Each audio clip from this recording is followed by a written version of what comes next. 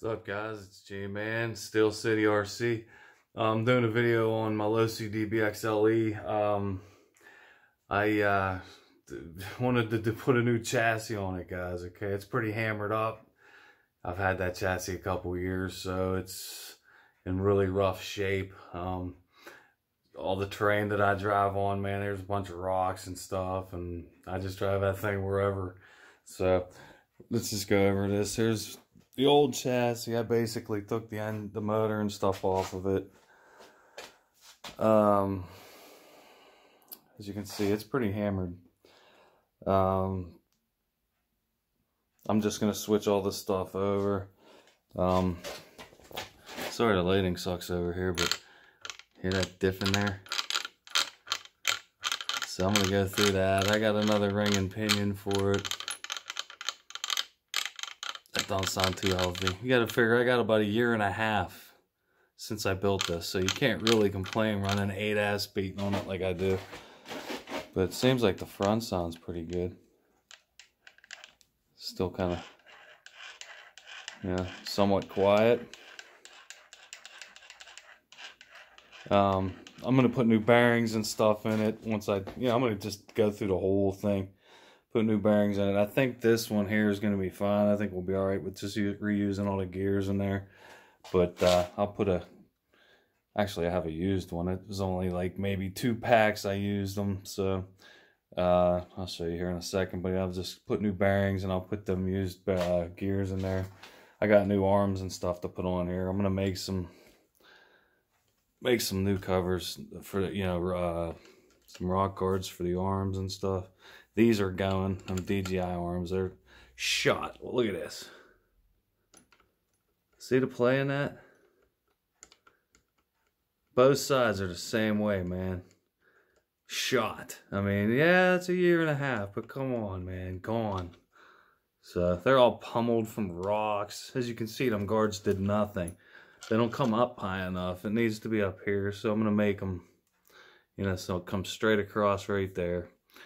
Um, re put new boots and stuff on it, but uh, I'm gonna reuse most of the stuff. I think he's these braces and stuff are still okay. The steering system's fine. Um, take a look at the bottom though. Where you see this? Talk about hammered. That chassis is in pretty rough shape. Definitely seen better days, huh? That's why I'm doing it. So, here's the new chassis. Um, go over a couple of things I did to this. Um, I'm going with the, the FID center diff mount slash engine, or motor mount. I keep saying engine because I'm a fifth scale gasser guy, but anyways, that's the FID. Um, reusing the DBX. I rebuilt this already. The center diff. Um, but you will notice there's a mount on the back now. Okay, all that is is one of them clamp style. Just clamps around there. And it's sitting flush on that chassis. As you can see, I got two black marks on it. And those two, that's just from a, that's just from a um, Sharpie. That's where the screws are. There's two screws that go up from the bottom. I'll show you what I did here once I turn this around and show you. But yeah, as you see, it sits flush on the chassis there. And it just clamps on. You got your screw there. So we got it bolted here and the two bolts in the front. So I'm hoping, I noticed whenever I, I beat on this thing, guys, if you guys have seen any of my videos or whatever, but I beat on this thing pretty bad. And as soon as I start jumping it hard, I lose my mesh here. But that sounds pretty good where I got it right now.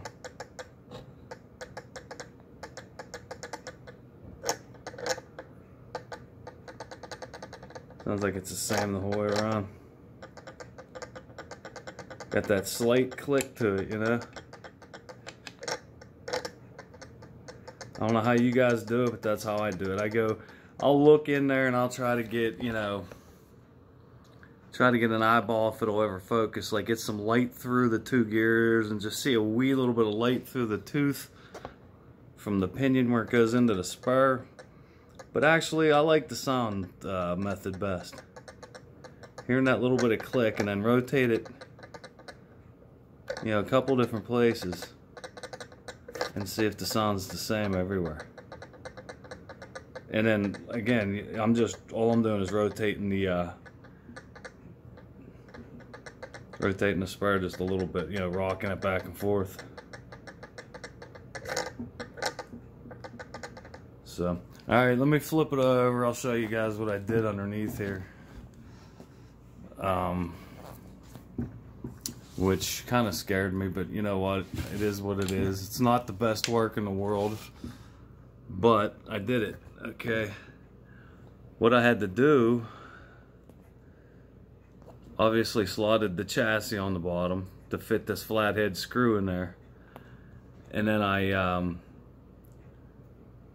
used that inner, this inner portion here, how it has that, that chassis support that they put on these DBXLEs to quote unquote fix what the DBXL problem was. Anyways, I slotted this part to allow this motor mount in the rear to slide, you know, back and forth with the mesh of this because that's all it does is just slide back and forth. And I just, like I said there, slotted it, used some flathead bolts. I mean, that's actually below the chassis now, but Actually, my grinding skills and everything else is better than my cutting skills with the uh, Celotex knife. Uh, trying to get the chassis protector uh, cut. But I got the chassis protector from Darkside. Let's see if I can get this. What is that? Darkside. Can you read that, guys? But it's it was expensive and um, it obviously is not for this car. This is for the DBXL. shouldn't have these holes and slots, man. Half the holes for the motor mounts weren't there. I had to actually cut them out myself, as you can see. Yeah, that's for the chassis brace in the front. That wasn't there. Because you can see the holes are here for the original uh, DBXL. Well, whatever. We're going to make it work. It's going to be hopefully better than that other one. as you can see, or I showed you earlier. All right, guys. Um, just wanted to give you guys a quick update, man. I'm gonna go ahead and throw everything else back from that onto here once I rebuild the diffs.